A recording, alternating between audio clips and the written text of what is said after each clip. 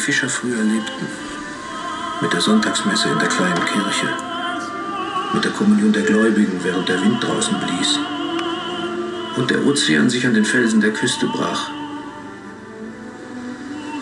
Das war ein Leben ohne Zerstreuungen, ohne große Ereignisse, beherrscht von einer schweren und gefährlichen Arbeit.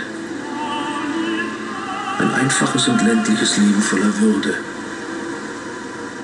aber zugleich ein stumpfsinniges Leben.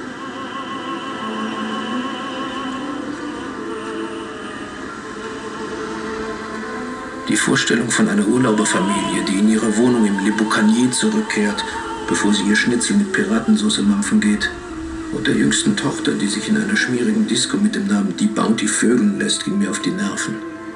Aber ich konnte nichts dagegen tun.